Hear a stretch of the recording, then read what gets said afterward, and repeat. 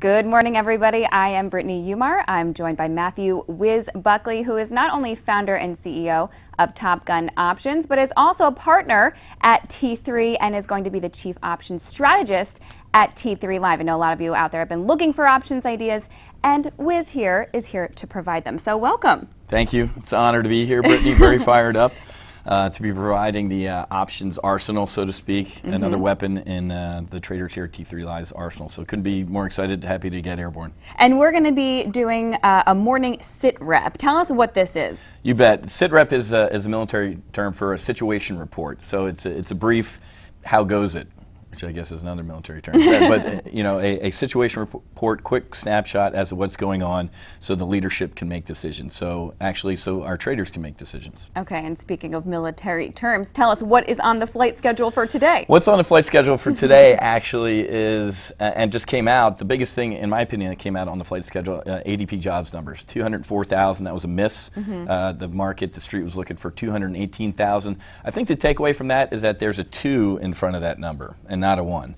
So we're seeing it's this kind of you know milk warm uh, recovery. It's still a jobless recovery. Mm-hmm. A lot of people leaving the workforce, but as long as there's not a one in front of that number, the market's going to take that as relatively okay. I mean, you know, within a, uh, within a one mile radius of where we are right now, I'm seeing you know from Goldman Sachs, Deutsche, all the quote smart people. I'm, I'm seeing as low as a print of 150 all the way up to maybe 350,000 jobs created. So if, if you think that a lot of people are smarter than you on Wall Street, don't think that because they might be throwing darts just like you are. So that's on the flight schedule. But more importantly, at 10 a.m., we're going to get ISM, non manufacturing uh, PMI. Any read above uh, a 50 indicates expansion, anything below a 50 indicates uh, contraction.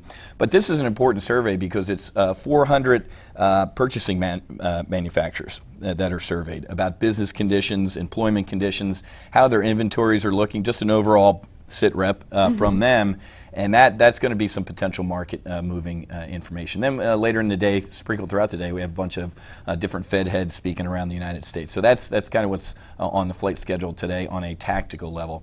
On a strategic level, I think the market recovered a little bit yesterday because of quote unquote, you know, ceasefire over in Ukraine. But mm-hmm. you know, while while Obama's playing you know checkers, this guy's playing chess. Right. he he won. He wants a ceasefire right now, right in front of the NATO summit because he wants to keep what he's already got. You know, we've already written off Crimea, and now he's essentially taken eastern Ukraine. And uh, if you think this is over and this guy's going to stop here, uh, you're wrong. So we'll talk in a couple minutes about maybe uh, getting long volatility when mm-hmm. it's cheap, because I think uh, there's some things that could uh, freak out in the world. Well, of course, there's been tons of headlines that we've been dealing with out there, and one of the big headlines, of course, tomorrow will be the jobs report. So, being as we saw that ADP miss today, how do you think that factors into jobs report expectations for tomorrow? It's funny. As soon as that jobs report came out a couple minutes ago, I, I, you could hear thousands of people scrambling uh, around Wall Street because now they're updating their number based mm-hmm. on ADP. But remember, ADP is a it's a private jobs report. It's not the the government. So we'll get the real government number tomorrow, and we'll see if we're still in what I call bizarro market, where good news is good news, bad news is good news, and awful news is great news. Mm-hmm. That's because the Fed's been around. So since you know Mama Fed's going to be leaving us next month in October, um, it, it, we're going to see based on tomorrow's jobs report whether or not the, bad news is bad news again. If, if we mm-hmm. see a mm-hmm. jobs miss, I think we could, uh, we're either going to stagnate or, or uh, head a little to the downside. But uh, like you guys covered this morning with Red Dog, I mean, you, you can't keep this market down. You know, standing in front of this thing is, is standing in front of a, uh, a freight train, and we saw the uh, the AAA cut that you guys talked about mm-hmm. over in the ECB. That's just that's absolutely crazy. Uh, we we expected some ABS purchases out of the out of the ECB, but but now they're also cutting rates. I mean, this is this is crazy. Europe's a clown car. Don't get me wrong. I mean, we're seeing Germany and some of the stronger economies over there starting to roll over, uh, and and so in Europe bad news is good news. Mm-hmm. It's so bad over there that Mario Draghi's got to step in and right. give them the punch bowl like the Fed's doing in the U.S. So that's kind of a, a, high level what's on my radar. All right, well, let's get down to some real action here then and talk uh, trades. What kind of trade do you have for us today? I, it, it, a little stock, you, have maybe not heard of it, it's called Apple, right? it, it's on everybody's radar, uh, Apple. And as you can see, uh, this is one of my portfolios. It's called the Primary Live Trade Brief for folks who are cavemen, cave women, or relatively new to options. And right now, I have a bullish double vertical on Apple that's up, as you can see right here, 150%. And this trade's been on for a couple weeks, and it's up uh, 2,100 bucks. When I click on Analyze, you can see this, this trade can potentially make about nine grand on $6,000 in risk. Uh, and this is out to October. So I give myself mm-hmm. a little bit of room to have the launch happen uh, and then see if Apple gets above 105 by October expiration, which is the third Friday in that month, this trade can see uh, a nice, you know, eight uh, or, or $9,000 profit. So that's an existing position. So, Brittany, the one I'd be taking a look at today, if I was to, which I, I would look at potentially putting on this position today. It's also a bullish double vertical. Uh, let me click uh, edit the strategy here. And a, and a bullish double vertical, Brittany, mm-hmm. doesn't have to confuse you. It's just two vertical spreads on top of each other okay. with the same strategic mindset a bull put spread and a bull call spread. And the bull put spread is what we call a credit spread, and it's going to finance that bull call spread. So here's, here's the trade itself selling 30 of the OCT 9857 puts and buying 30 as a hedge the 9643s, meaning, I don't know, the iPhone 6 launch comes out, it turns out it, you know, it takes over the world. So it's an alien device, I don't know, and Apple goes to zero. We're long Apple below that strike price. So we're bullish on Apple by buying 30 of the OCT 10140s and selling 30 of the OCT uh, 135s. Here's what really puts a smile on my face, Brittany, is mm-hmm. we can do this trade for a credit, meaning the market is actually going to pay me, quote unquote, to be bullish on Apple out to October's uh, expiration. If I can get this thing to click over here. So for 21 cents, let me click on Analyze. And what I teach my TGO traders is the first place your eyes should look is right there. Max potential loss, 5,700 bucks. Most retail traders would have done what? Looked at Mr. Happy Face first. hey, hey, Whiz, how much can I make right. on this trade? Don't do that. That's absolutely wrong. How much can I lose on this trade? 5,800 bucks.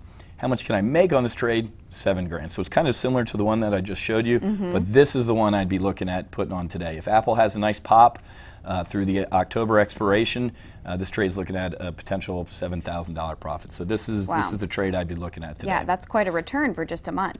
It is. Uh, well, yeah, that would be. Yeah, you're right. A, a little over a month. Um, well, this model portfolio, as you can see this is the performance for August. So the primary live trade brief model portfolio is up 20, 21, 22,000 dollars, and that's only on about uh, on a hundred thousand dollar model portfolio. We're only using about 59, 60 thousand dollars in, in haircut. So that's a let me do the mental math. Mm-hmm. 36 mm-hmm. percent return on that capital. 36 percent return on risk. That's in one month. So I'm really fired up to, uh, to, to start providing a lot of options tactics providing some mutual support to Red Dog and the VTF and, uh, and all the T3 Live traders and, and teaching them uh, the power, the leverage, mm-hmm. and the safety uh, of options. So I'm very, very fired up to uh, to be on board. Yeah, well, with an idea like that, I think you're probably firing up a lot of other people as well. exactly. You're going to go place that trade. exactly, exactly. Well, and until the two sites are merged, you can still go to uh, Top Gun Options com for more of these great ideas, right? You bet. Uh, we're going to be, one of the reasons I'm up here in New York is we're doing a lot of strategic planning. We're going to see what uh, new products and services we're going to roll out. We'd love to hear from you all as well. You, you give us the answer key. We shouldn't be sitting here and throwing out, hey, this is our new service. Why don't you tell us uh, what you need? I've been do, I've been playing Secret Shopper in the VTF for a little bit over the past couple weeks, mm-hmm. you know, and I won't tell you what my call sign was. uh, and and it's really great that a lot of you who might not potentially have the capital to you know swing some significant trades instead of you know buying a thousand shares of Google, mm-hmm. you know maybe a hundred contracts of Google. Control the same amount of shares for a defined period of time. Mm-hmm. So I'm uh, I'm very excited to be able to provide uh, that stuff. So yeah, you can go to TopGunOptions.com mm-hmm. until the uh, until the sites are integrated. And if you're interested in uh, you know taking a, a test flight. I hate, mm-hmm. I hate the term trial. You got to give it a test flight before you actually buy the airplane. Uh, you can give us a call on our um, uh, 800 number on our on our webpage, and you can give one of our uh, customer service folks a call if you're interested in test flying any of our services before we come out with a formal. Here's what we got. Well, perfect, and thank you so much, Whiz, and welcome yeah, to T3 and T3 it's Live. Great meeting uh, you, and look forward to working with you and, and all the T3 Live traders with our new T3Live.com. Yes, and for now, everybody, happy trading. Have a great day.